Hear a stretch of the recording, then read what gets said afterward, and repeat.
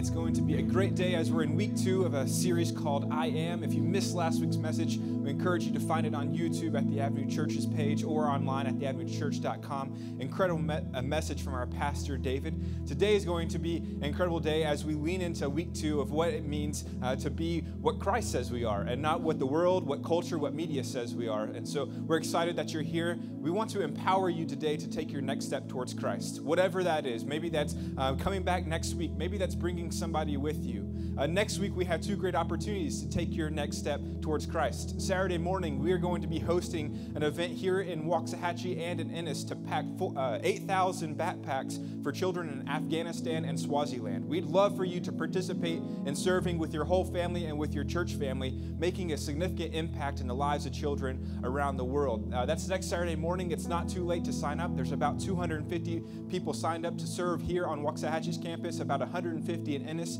Find a place to, to plug in to serve next week, and that's for your whole family. We'd love to see you here next Saturday. Also, next weekend, uh, we're going to be celebrating baptisms after every service. Baptism is a symbol, it's a public symbol uh, in front of your church family that you belong to Jesus, that you believe what God says about you, that you are redeemed, that you are made new that your old life has been buried in the water, and that as you raise up, you walk a new life with Christ uh, in the center of it. And so next week, we are celebrating baptisms. For some of you in the room, your next step is to be baptized, to go public with your faith. You know that God has transformed your heart and your mind. He's working on you. He's you're in process of becoming more like Christ, and you need to make that public in front of your friends, in front of your family, in front of your church. And so we invite you next week uh, to come serve with us, to be baptized if that's your next step, wherever you are in your your walk with Christ. We want to walk with you. And so today, as we uh, sing a few more songs, as we listen to a message from our pastor, we invite you just to turn your attention to God, to give Him um, all your thoughts right now, to get rid of all the distractions and just be focused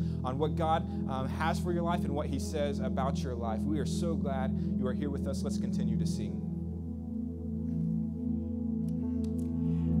We're going to teach you a new song today. And before we do that, um, if you know me, you know that I, I love to brag about myself. This, is this correct? This right? Yes.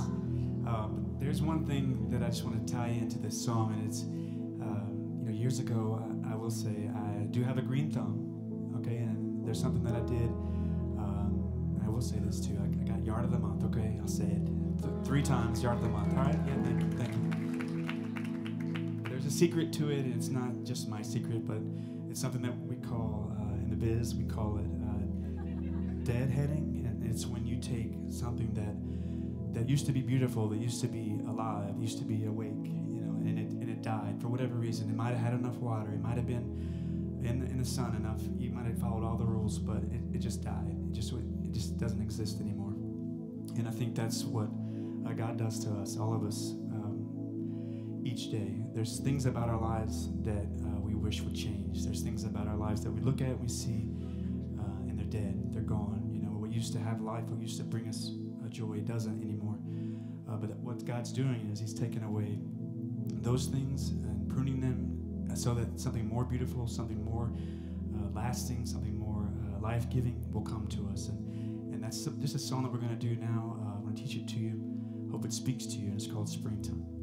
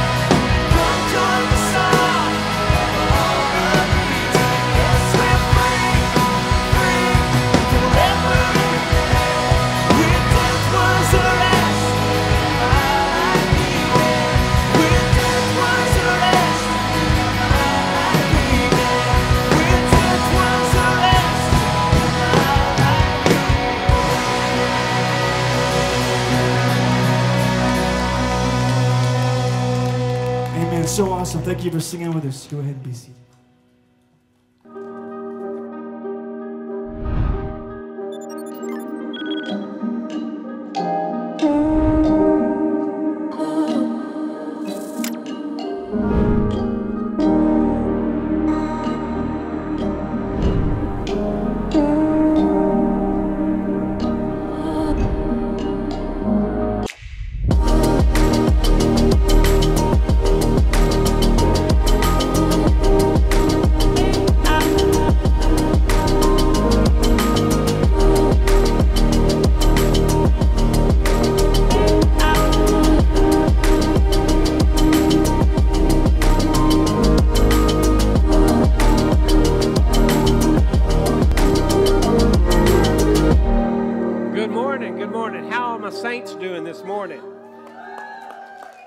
About saint fans, I'm talking about actual saints.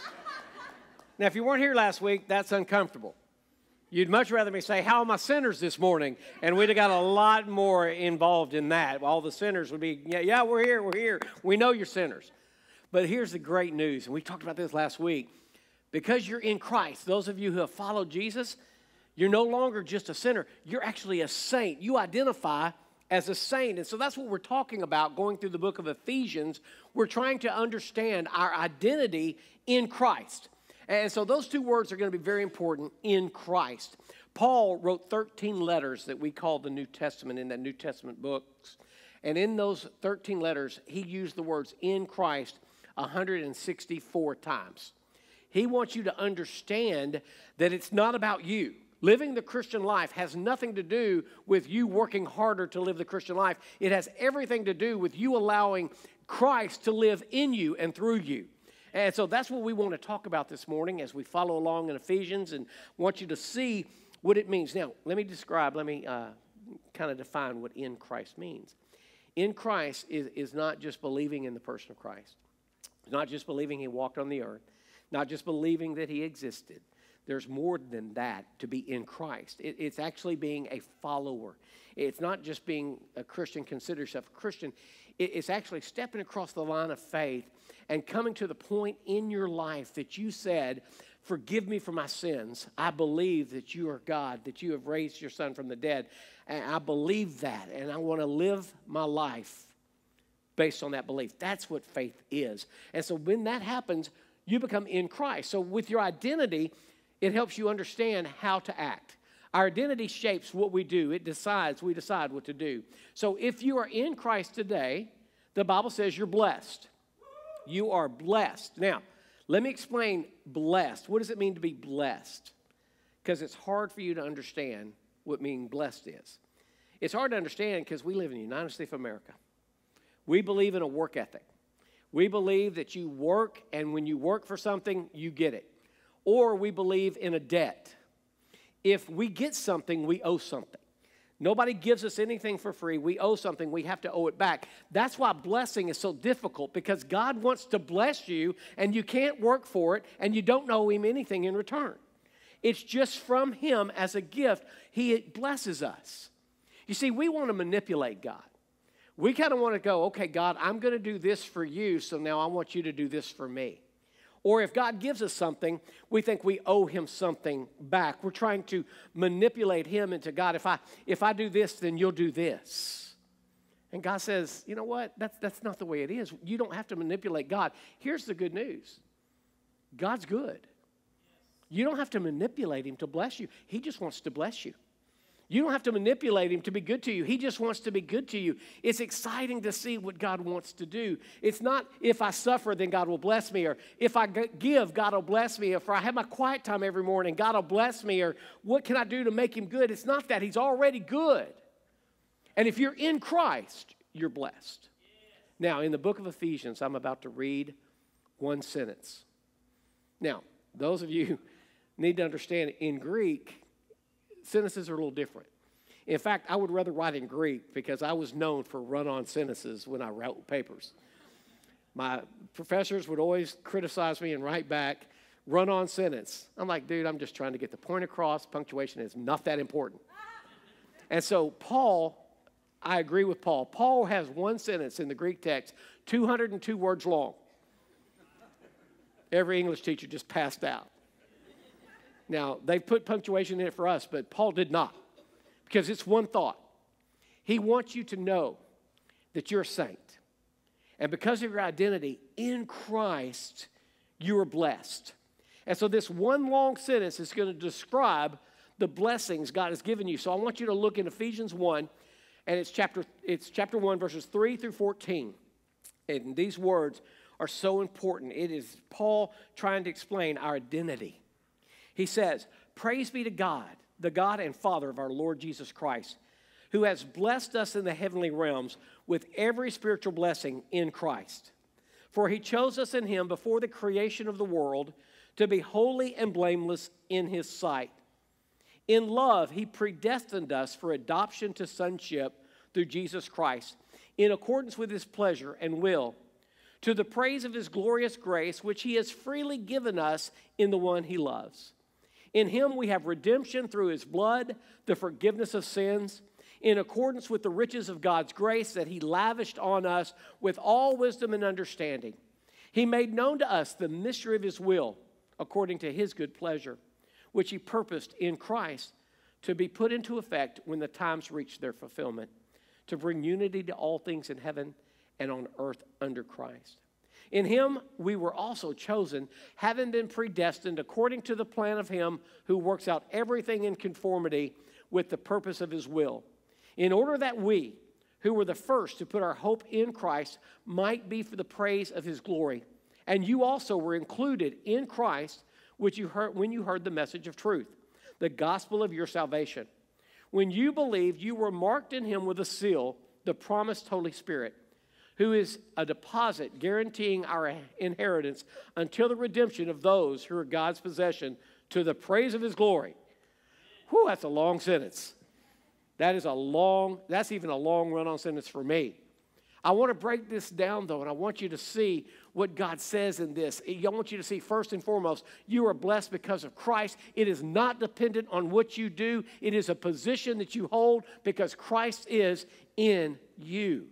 And so I want you to see you've been given every spiritual blessing in Christ. Every spiritual blessing. And so Paul starts naming some of those. And I want you to see the first thing he says you're blessed with is you are blessed with holiness. It says you're holy and blameless in his sight.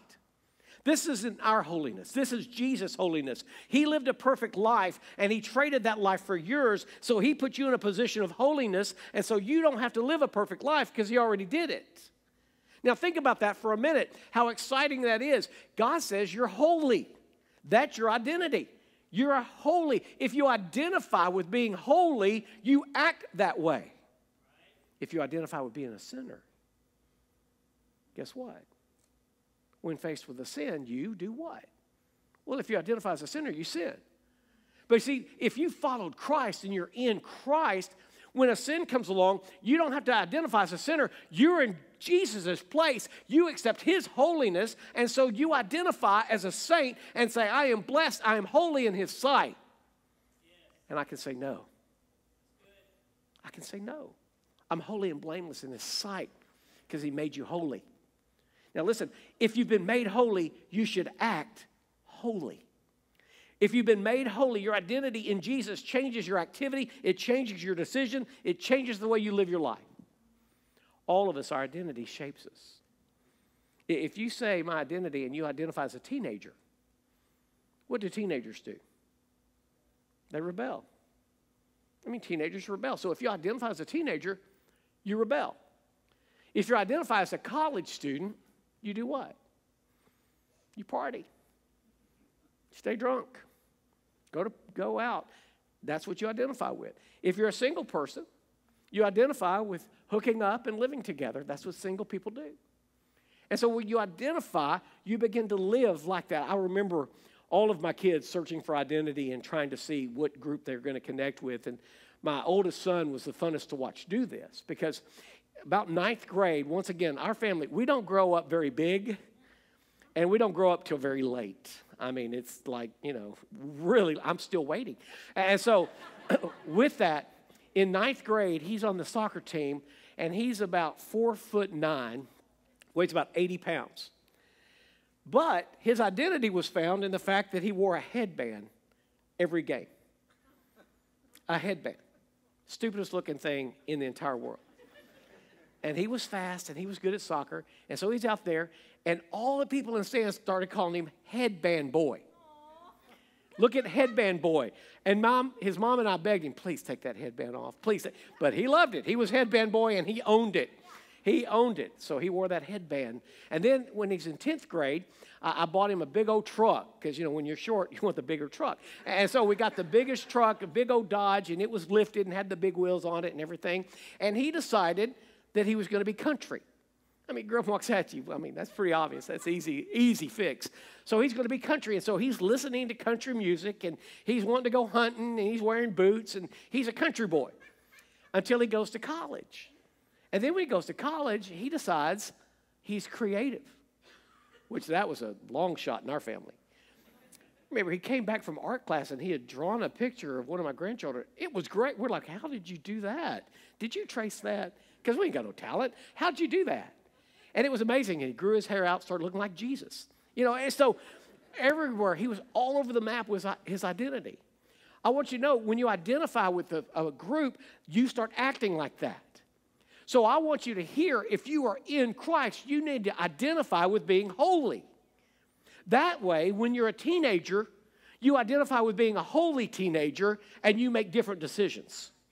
You identify with being a holy college person, and so you don't do the things that other college kids are doing. You identify as a single Christian, a follower of Christ, and you don't do the things other singles are doing because you're holy. That's where your identity find it. Listen, and hear me. The holiness is not in you. You're not holy because you're a good person. You're not holy because you're special. You're not holy because you're better than the people around you. You're holy for one reason only you've traded places with Jesus. That's it. You've traded places with Jesus, you are blessed. It changes what you do. You're blessed by being chosen. I want you to hear this. He says, He predestined us for adoption to sonship and daughtership through Jesus Christ. Now, we see that word predestined, and if you're a church person, you just start going out of your mind. The word predestined is a big church word that church people love to fight about. Uh, you don't choose God, God chose you. You know, God chose before the beginning of the world. He picked you. And then that leads to the question well, then why didn't He choose this person? And that's not fair that He chose me, but He didn't choose them. And there's nothing in me that accept. And so we get all excited and we think God's up there playing a game of duck, duck, damned. You know? he's up there and he's deciding, you know, okay, duck, duck, damned, you're going to hell. That's not it. And so instead of trying to argue about being predestined, let's do this. Let's celebrate the fact that you're chosen. If you're in this room, if you're in the Ennis campus, if you're on the porch, if you're online, if you felt drawn to God at any time in your life, guess what? You're chosen. You don't have to think about it. God has chosen you. God is wooing you. God is pulling you. And that means wherever you are in this world, God can save you. Whatever you've done wrong in this world, God can save you. Whatever you haven't done in this world, God can save you. It doesn't matter how religious you are, it doesn't matter how rebellious you are, it doesn't matter how ridiculous you are, God can save you. And so if you felt the draw from God, you're predestined. You've been adopted. You've been brought in. That is good news. God loves you. He picks you. And He found you. He chose you to be a son or a daughter. He adopted you. You see, God is not a force out there, He is a father. And that's exciting. Now, some of you don't understand adoption. And so I can explain it because I adopted a son at 18 months old. At 18 months old, a young man came into my home. I chose him. And he became my son at that point, no different than any of the natural born children. My love for him is exactly the same as my natural born children. I have given him my name and an identity as my child, and nothing can take that away. He belongs to me. And I understand that love. And then recently, I shared with you, I found out that my father was not my biological father. I have no blood relationship with that man that is my dad. But you know what? He took me in. He raised me as his own. I bear his name and his identity because he adopted me and I am his. So when I think about God, oh my gosh, I understand from adopting and being adopted. I understand that my Father, my God, loves me as his own, period. No exceptions. That's good news. That's exciting. That is a blessing. We know our Heavenly Father loves us and has placed on us His identity. So, guess what? You're blessed. You're blessed. You don't have to do anything to be blessed. You are already blessed. He goes on and says, You're also blessed by being redeemed. In Him we have redemption through His blood, the forgiveness of sin. Now, I want you to understand that word redemption because in the, in the Bible times, they understood slavery. Slavery was a big deal. There are a lot, a lot of slavery in this time. And so they talk about being redeemed, which means you had to be bought. You were enslaved. Someone was mastering over you. They controlled you, and you could be set free by being bought and released. In our culture, the best way to look at it is addiction. You can be redeemed from your addictions. You can be redeemed from the things that are mastering you, the things that are held over you, the things that have you in bondage. He says, I can release you. I have released you from all of that. I've paid for it. You don't have to be enslaved by your addiction anymore. Whatever it is, you don't have to be enslaved by it because I want to set you free. Redemption is an incredible thing all the way through the Word of God. It starts way back in the Old Testament. In the book of Genesis, things become redeemed, bought back with a price. In fact, in the book of Exodus, there's a beautiful story. The Jewish people call it the Passover. The last plague on the Egyptian empire was that the firstborn of everything was to be killed. The angel of death was going to come through the land, and the firstborn was going to die.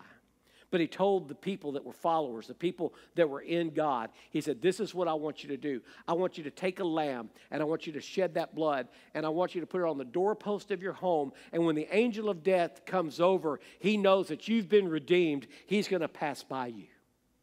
You've been redeemed by that blood of that lamb. Beautiful foreshadowing of Jesus Christ. In fact, John the Baptist, when he saw Jesus come down to begin his ministry, he pointed at Jesus and he said, Behold, the Lamb of God who's come to take away the sins of the world. John the Baptist knew that Jesus was going to lay down his life, and if you would put that blood on the doorpost of your heart, the angel of death was going to pass over you. You were going to be redeemed, you were going to be bought by his blood into a new identity. He says that's the forgiveness of sins. We've been forgiven of our sins. What happens when you sin? We're all going to still sin, but there's something that happens after that. You can deny it, pretend it didn't happen. You can blame somebody else. We're good at that. We can diminish it and act like it's just not really a big deal. We can hide it and hope we don't get caught. We can punish ourselves and think we need to suffer because of it, or we can just be forgiven. He says here, you're blessed. It's kind of amazing to us to think that we can sin and go to God, and God says, It's gone. I forgive it. Well, God, don't I need to? No, you don't need to do anything. Jesus did all of it. Live in it. Don't walk out of here a sinner. Walk out of here forgiven, redeemed saint of God. Understand who you are in Him. Jesus said from the cross, Father, forgive them as they were putting Him to death. Father, forgive them. The forgiveness of God is overwhelming, it's incredible. And every one of you in this room have been predestined to receive it. Everyone listening online has been predestined to receive it. Everyone on the porch, in the cafe, and in Ennis has been predestined. You've been chosen by God. Isn't that exciting to be in Christ? A new identity. He says, with that, you've been sealed. When you believed, you were marked in Him with a seal. What he says is, He's made a deposit for your future. You're not all you need to be yet. In Philippians, he says, He that began a good work in you will complete it. But He started that work by placing the Holy Spirit in your life. And when you have the Holy Spirit in your life, you get to live this holy life with His help. You are not living for Christ, you're allowing Christ to live through you. Now, does it take some effort on your part? It does. But it's wholly inspired effort, it's wholly empowered effort. He works through you to live through you. He empowers you. It is God's living His life for you. It's living his, God's living His life in you, and God's living His life through you by the power of that deposit. You're just beginning to be who God has called you to be. And when you understand your identity, you act differently. Why does God do this? Why does God do this? And I want to do some teaching here about theology. See, because we're blessed for His glory. And that's hard for us to understand. He blesses us not because of us, but because of Him. And, and the best way I can put this, uh, you know, easiest way I can put it, is there's cat theology and dog theology. Okay, and let me explain that. If you've been around the avenue long, you know how I feel about cats. They are evil. It's the only creation that God lets Satan have. He just said, You can have it. They're below snakes. I mean, cats are. Now, please don't email me about your great cat. There's no such thing. I don't want to hear it. I've had people leave the church because I hate cats. Oh, well. I'm so sorry. I hate cats. I love dogs. Dogs are cool.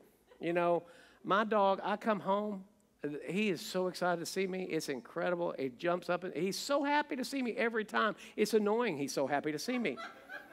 I mean, I can't get my wife to do anything near that. But dogs are awesome. And so a dog just loves its master, right? I mean, a dog has a master. A dog just does anything for his master's attention. A cat has a staff. You are the slave to the cat. The cat is the master. I mean, come here, kitty, kitty. And it just looks at you. I, that does not, no. I'm feeding you. I don't even let my kids do that. So you understand. The cat theology is God loves me. God chose me. God's blessing me. God's doing all this for me. God has eternity for me. God has a new nature for me. God has an eternal home for me. I must be amazing. Look how valuable I am to God. Look how important I am. That's cat theology. And you hear that sometimes. But see, we need to have dog theology. And dog theology is look at all God has done. Look at what God promises to do. I live for the praise of His grace. I, I, thank God for all the things He does so that people can see Him as glorious. God does all of this that I might tell everyone how glorious He is, how loving He is, how generous He is, how compassionate He is, how merciful He is, how long suffering He is. I have an incredible master I want you to meet. That's dog theology. We need to be dogs, not cats. Because God is blessing us not because of what we've done but because He is incredible. That's why when you see someone outside the church world, we should have nothing but compassion. Because except by the grace of God, that's us. We did nothing. We're not better than them. See, people outside the church think that we're judging them and we think we're better than them. That is a cat theology because we are not here because we are valuable. We are here because He is gracious. We are here because He is merciful. We are all, without God, nothing. But with God, we have everything. Live in it, live through it. Understand, I want you to be blessed by God because God wants to bless you. If you're in Christ today, if you're a follower, you need to rejoice in that blessing. I know some of you don't feel like you're being blessed. It's a rough time. Unemployment, problems, you know, just a world gone mad. And so you're thinking, Pastor, I'm not blessed. I think if you look for it, you'll find it. I think if you look at your life honestly and take a deep breath, you'll find the blessing of God all around you. You'll find the blessing of God when you look at the sunrise and sunset. You, will find the blessing of God in everything you do. I want you to know living on this earth as a follower of Christ, this is as close to hell as we'll ever come. But a reminder those outside the faith, this is as close to heaven as they'll ever come. So when I share the good news of Jesus, it's not because of me that I get to eternity. It's because of Him. I want you to be blessed. I want you to consider the blessings of God around you and today, if you're on the fence about this whole thing, I encourage you to step across the line and be in Christ. You don't have to get your life right to be in Christ. You don't have to make changes. You don't have to do anything. He does it all through you. Remember, it is Him living through you. And so I want to pray a blessing over you today. And I want you to hear that God is good and He's already blessed you. If you're in Christ, open your eyes and see it. Wherever you are, would you just stand with me so I can pray over you?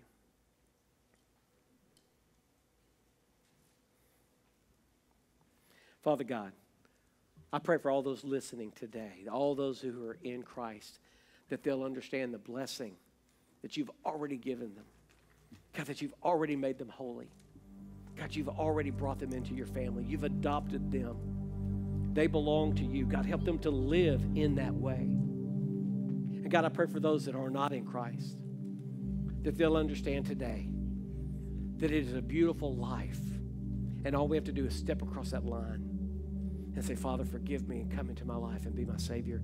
And at that moment, He begins to live through us. He gives us that deposit, He seals us for eternity, and we belong to Him forever and ever and ever. And God, His favor is upon us. God, help us to see your favor. In Jesus' name. We're going to sing this song together. And my prayer continues for you that His favor will be with you that His favor will be before you, behind you, and beside you, and you will truly live your life blessed.